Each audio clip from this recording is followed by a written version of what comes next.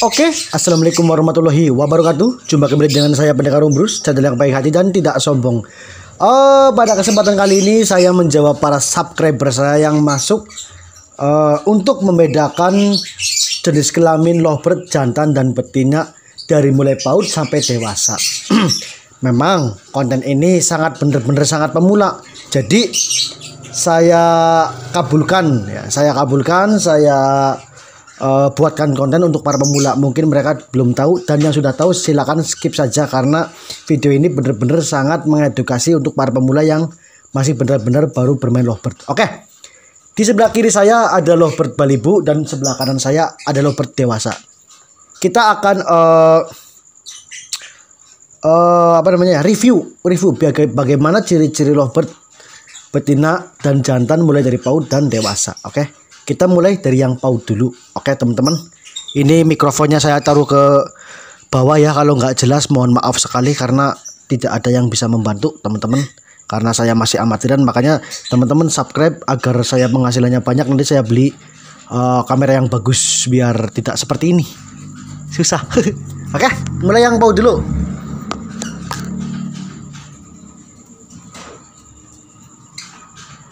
Oke teman-teman, ini yang uh, bawah ini umur dua bulan setengah, yang di atas tiga bulan, dan yang di bawah ini betina dan yang di atas ini jantan. Kita ambil ya, biar lebih jelas, biar lebih jelas ya teman-teman ya.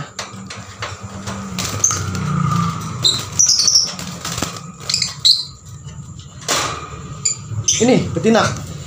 Seperti apa ciri-cirinya betina? Dilihat dari paruh lebih lebar dibandingkan dengan yang jantan teman-teman. Kita revisi satu-satu dulu ya. Dari cupit udangnya di sini kalau dipegang di sini nih di bawah kaki nih di dekat dubur ini ininya renggang kalau betina. Kira-kira renggangnya berapa senti ya? Kalau yang usia paut itu bisa sampai satu senti atau dua sentian satu senti setengah teman-teman ya ini cupit udangnya. Nanti saya uh, kasih simulasi di sini ini yang betina dan di sini nanti yang jantan ya teman-teman ya. Dari postur tubuh biasanya kalau yang betina itu biasanya itu pendek. Pendek agak gede. Itu eh, sepengetahuan saya kalau dari balibu teman-teman ya. Dari postur juga udah kelihatan kalau betina itu eh, badannya gede. Nih. Juga ada juga yang betinanya badannya kecil. Jadi ini akurasinya cuman 90% katakanlah ya teman-teman ya. Dan kita ambil yang jantan dulu. Bentar ya.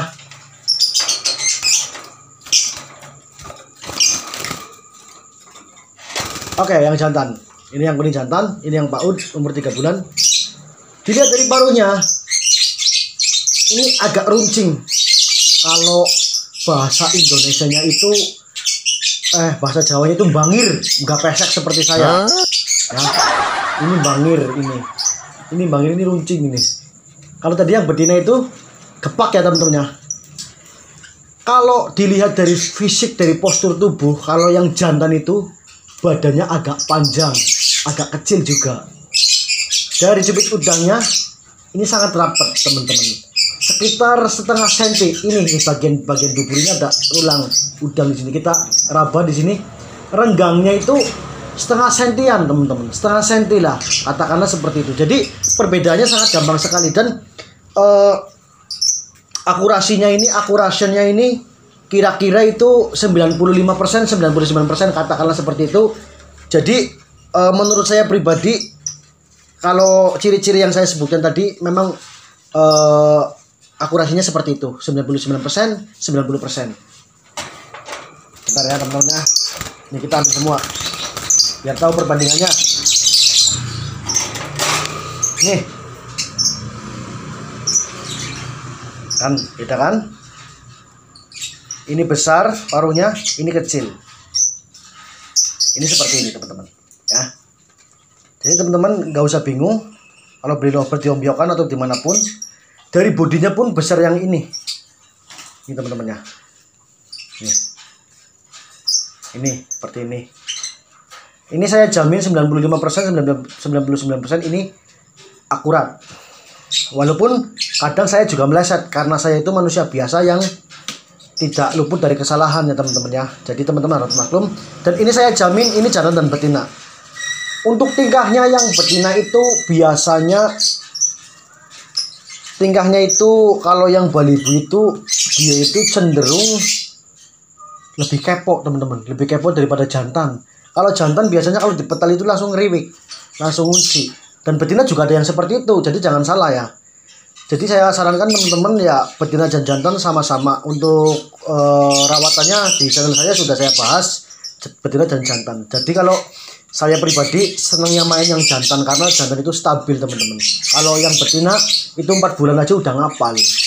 Udah dan dia ini nggak mau langsung ke gantangan balibu jadi durasi balibunya itu durasi umurnya itu kalau udah meranjak lima bulan harus ke dewasa. Kalau yang jantan bisa jadi siluman bisa juga ini. Jadi nggak kelihatan tua. Kalau ini cepat tua teman-teman ya. Ini perhatikan ini yang balibu oke okay? kita kita sekarang ambil yang jantan uh, yang dewasa ya teman-teman ya. Di belakang itu. Oh ya ini ciri-ciri bulu bulunya ini. Kalau balibu ini bulunya kusam ya teman-teman tahulah balibu sama dewasa bedanya jauh ya.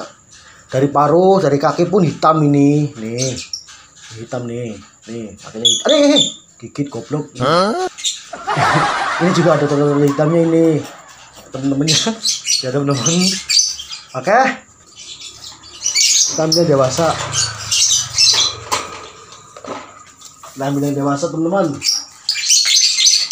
Oke jadi penjelasannya di sini sangat komplit sekali. Yang balibu sampai dewasa teman-teman gak usah heran. Ya. Bang kalau yang umur masih bulu jarum itu gimana bang? Saya nggak bisa membedakan teman-teman. Karena cubit udahnya belum ada. Masih lunak masih apa enyar enyor bahasa Jawanya masih enyar enyor teman-teman. Jadi ya saya sendiri kalau yang masih loloan yang masih bulu jarum saya tidak bisa memprediksi. Cuman angen-angen cuman apa namanya awal gun lah bahasa Jawanya awal gun. Pakai feeling kalau yang bulu jarum. Ini yang dewasa teman-teman ya sama seperti tadi seperti balibu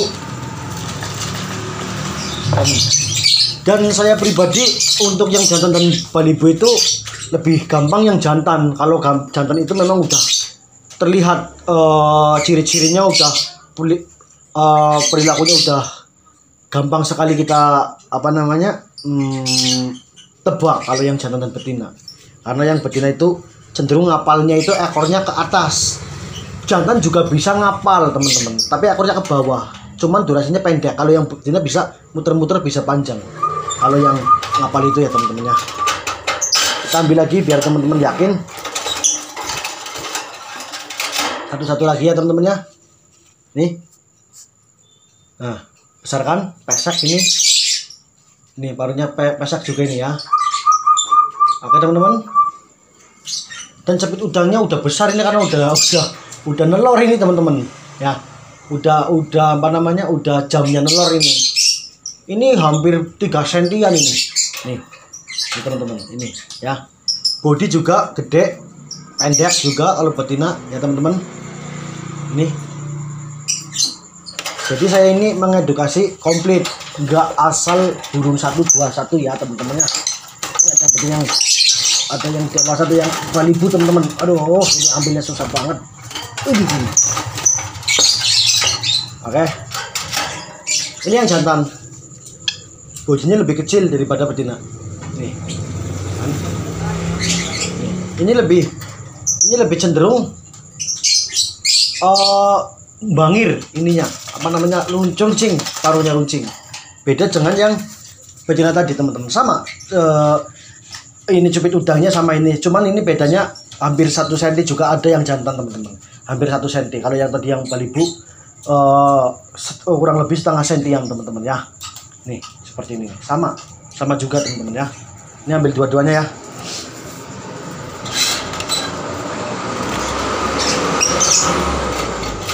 Nih. Nih. Kan perbedaan jauh kan? Nih nih. Ini gede ini runcing. Seperti ini teman-teman ya. Dan untuk yang betina ini perilakunya kalau udah dewasa itu ya e, kalau udah birahi yang ngapal seperti sayap-sayap itu loh. E, apa namanya? Lebar itu kayak pesawat itu pesawat bahasanya seperti itu teman-teman. Dan yang jantan juga kadang ngapal cuman ngapalnya ini kalau ada betinanya tapi kalau sendirian enggak Eh, kalau birahi ini ciri-cirinya teman-teman ini garu-garu kepala kakinya sambil bunyi cak cak cak cak cak cak, cak sambil muntah-muntah. Ini cenderung seperti ini kalau jantan itu ciri-cirinya seperti itu. Yang betina juga bisa seperti itu teman-teman tapi nggak bisa panjang seperti ini jantan. Kalau ini bisa garu-garu kepala sambil muntah-muntah tapi lanjut ke bebek kalau yang betina teman-teman ya. Seperti teman-teman. Oke. Kita taruh lagi